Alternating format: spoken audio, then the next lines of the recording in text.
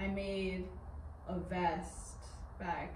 Um, I finished in October. What was little vest? Yeah, I have my little vest, um, which is reversible. Fun fact. So, the whole inside is this pattern, um, but there's little tulips on it. Um, cause I got this yarn. My grandma got it for me in Holland, and so Holland has tulips. So that was my inspiration for it. Um, I am like getting to a point where I have made like a significant amount of my own clothing, which is pretty cool.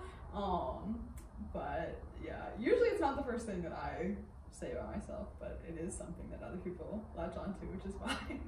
Is that the goal? To make to have all your clothing be made by you?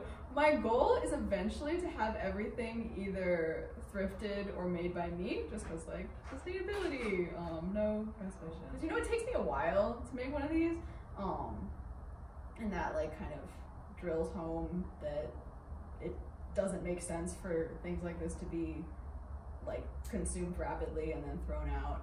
Um, and also for the past couple summers, I've worked in sustainability um, at a concert venue, which is a very non glamorous job. But it really like opens your eyes to how messed up the um, world is and the environment is. So like, if I could not contribute to that, then let me let me do that. So. What does sustainability in a concert venue entail? it's so awful. It's literally sorting through the trash into trash, recycling, and compost. Ew, so you were just the garbage girl. Yeah, exactly. The garbage, but they label it as sustainability so that like people do it. So people like sign up for it. So literally the worst job I've ever had. It was so awful. Um, but you know, you gotta make a difference in the world.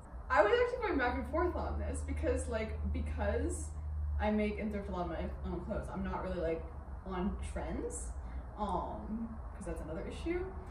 But I like my own style, and I think that that is what matters.